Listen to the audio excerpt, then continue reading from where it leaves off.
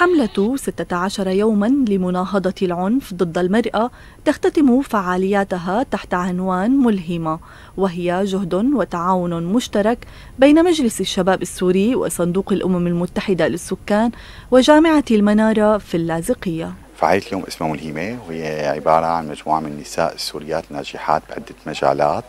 يحكوا قصص نجاحهم بحيث تكون ملهمة للنساء الأخريات لحتى يمشوا على الدرب ويآمنوا إنه هن فيهم يحققوا النجاح مثل هيك وأكثر. دأبت جامعة المنارة منذ تأسيسها لاحتضان هكذا فعاليات وأنشطة آه، تنموية آه، تعنى بالقضايا الاجتماعية ايمانا آه، منها بالدور الفعال لعملية التنمية المجتمعية والدور المساهم للشباب في عملية التغيير وصناعة المستقبل.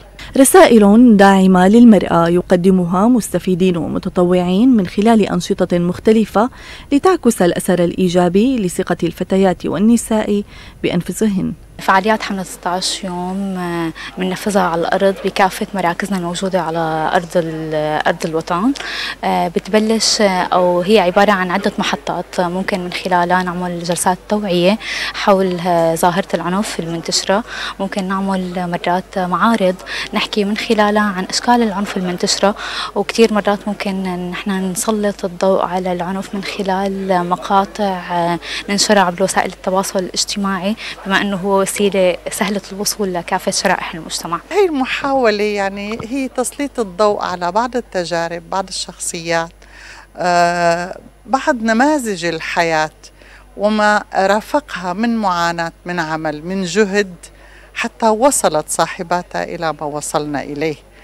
ربما يكونوا ملهمين لبعض الأشخاص أو لبعض الشخصيات اللي بيفتقدوا لهذا العزم. اليوم المرأة بالعموم الأنثى بالعموم آه، والسوريات بالخصوص هن اليوم بكل يوم عم بيفرجونا درس من دروس الإلهام. هن كل يوم هن أبطال لقصة جديدة. آه، هن موجودين كتف بكتف مع الرجل لحتى يكونوا هن آه، يشكلوا من الصعوبات والمعيقات يحولون لإنجاز. وهذا الإنجاز يكون إلهام لكتير أجيال نحن ممكن تمرق. ملهمة عنوان يتجسد كل عام.